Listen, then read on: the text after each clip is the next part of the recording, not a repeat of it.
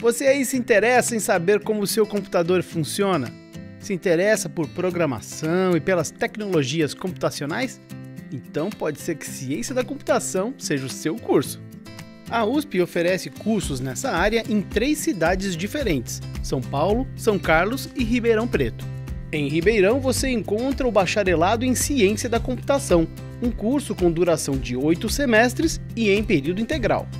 O profissional formado em ciência da computação trabalha com o desenvolvimento de sistemas de tecnologia da informação. Isso pode envolver redes de computadores, bancos de dados, jogos para computador ou aplicativos de celular, por exemplo. Além disso, ele ou ela também pode trabalhar com os mais variados e avançados softwares, o mercado de trabalho está aberto para consultoria em tecnologias, desenvolvimento de sistemas de segurança para operações online e até nas diversas aplicações de inteligência artificial. Mas para chegar lá é necessário entender bem como funcionam aparelhos de informática. Esse conhecimento envolve principalmente a área de exatas, lógica, matemática e estatística. Então, para se dar bem aqui, tem que gostar de cálculo. Mas a vida de um cientista da computação não é só isso.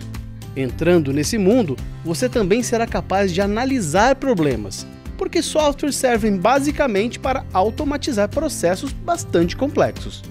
O Departamento de Computação e Matemática de Ribeirão Preto estruturou o curso de Ciência da Computação em eixos formativos, nos quais são divididas as matérias da graduação.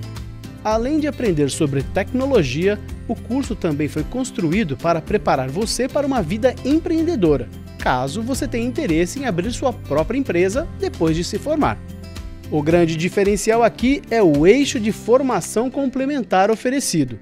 Composto por disciplinas de diferentes unidades da USP, ele permite que o estudante obtenha conhecimentos aprofundados em áreas específicas de aplicação da ciência da computação como negócios, saúde ou física médica.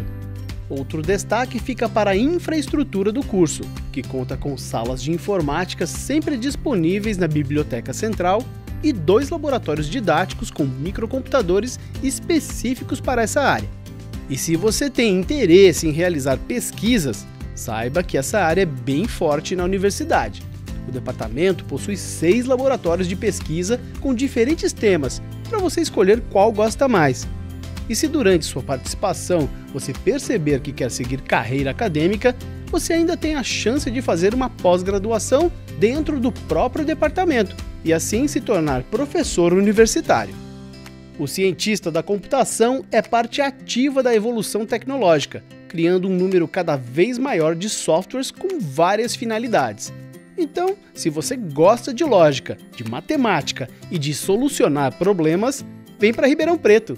Vem para USP!